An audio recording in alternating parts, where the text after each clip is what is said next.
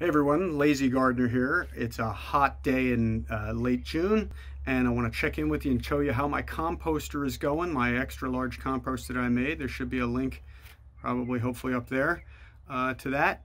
Um, but let's see how it's going. Now, uh, just as a reminder, I'm trying to make a, a, compost as fast as possible. This is called the Berkeley method. It takes about 21 days. The instructions are after you make your pile, flip it after six days, uh, excuse me, flip it after four days, flip it day, then every two days after that. And that should get you some really great product uh, as quick as possible. So uh, the I'm going to make some observations. I'm going to show you how it's coming along. But the first thing I want to uh, remind you is that it took a lot more materials than I had expected. And as a result, it taken a lot more work than I expected to get this flipped because I have to keep flipping it. And the first I, I didn't instead of flip it at four days, I flipped it at day six, and then I didn't flip it two days after that, I flipped it on day 10, but now I'm on day 18, and I have flipped it four more times. I'm actually in the process of that. I flipped it every two days, and the product has really been coming along. Uh, I'm gonna show you now how it's coming along and give you some of my observations. Okay, so here it is. Uh, you can see I'm in the process of flipping it. The material has gone down uh, well over 80%. It is in uh, a very nice condition right now. If you see, it is really starting to uh, dry out. If I squeeze it, it will still stay together, so it is not too dry. But it is really starting to dry out. It's getting very crumbly. I've been maintaining heat. Uh, up until about a couple of days ago, I was in the hot zone. I was in the 140s. And now, uh, maybe the last couple of days, it's come down to about 120, even though I flip it. I have not added any water, but there is a hole in my tarp and there were a couple of really heavy rains in there. So I'm sure some water did come in, but uh, just keep doing that squeeze test. It's okay if it looks like it's drying out, especially near the end. It should. This looks really, really great. It's really coming along.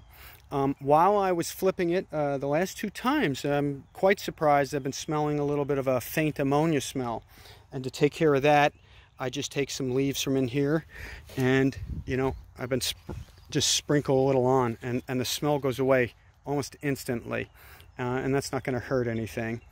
Uh, and it, it's really compressing. Now the sticks there, down there, I do recommend sticks. I probably put down a few too many, but a couple of like long kind of logs that go the length of it or a series of maybe 10 or 12 sticks is really great. Uh, when I get to the bottom, I can put the pitchfork under them and lift them up. I can kind of shake them off and then it's very easy. No uh, compost is really stuck to the bottom like it was in this one when I didn't use sticks. Uh, as far as these crates go, uh, you cannot get cheaper. You cannot get easier. They work excellent. I do have a few uh, things that I would do differently or I could do better if I want to keep doing this, and I do want to keep doing this, um, is that one there in the back, okay, you want to use the panel that has the most wood facing you. And you're probably saying, duh, but I just didn't pay attention to when I did it. It does make a difference. I didn't really think um, it would.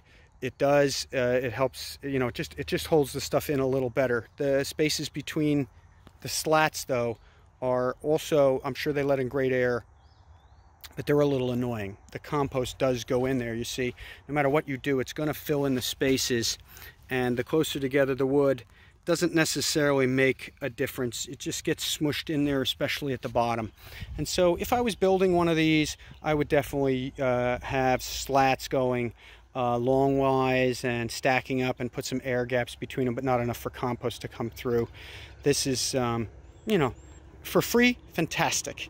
Uh, also, I would say, um, you know, this is a lot of work and I would not want to do this this quickly. That is that I don't need normally compost this fast. It really seems to be working, but in the earth machines, uh, it takes me about, you know, 45 days, even if it takes 60 days to get compost. And if I'm stirring that once a week during that period of time, that's a lot. And these are a lot, lot less work, and I'm definitely gonna keep with them. Also, as far as earth machines go, I really want to do a tutorial on these because I really think that I've, I've got these guys because I, I'm, I'm surprised comparison to the fastest you can get compost, how quickly and easily I'm getting compost out of these. And they also, as far as the kitchen waste goes, they hold in the smells much better. It's not that that pile so much smells, but when you're flipping the pile and you get to the layer of the food, in the first two flips, there's still something there and it is odorous. I don't really have those issues with these. They really don't smell uh, very much or uh, for very long. And I really like that. And I love the fact that these guys are small and you can get compost uh, with, with, you know, as, one batch at a time. And you can see right here, this is uh, finished compost. And that is really great. And that's actually two of these I combined together because I've been making a lot more compost this year because I've been at home. I've had the time. But that to me is a lot. That would be a lot normally. And I made that pretty quickly and efficiently. And I can teach you how to do that. But there is no match to making or starting out with 64 cubic feet of materials and here it is it's going to go down I uh, just before this flip I took some measurements and and I'm at under 10 cubic feet here of material. Uh, so uh, a well over six time reduction. It's quite remarkable. And I hopefully maybe show you at the very end what it looks like, but I can already tell you this is this could finish right on its own if I just left it in a pile and I'm just gonna keep flipping it until I until the earthworms move in, they say. Take care, good luck and good gardening.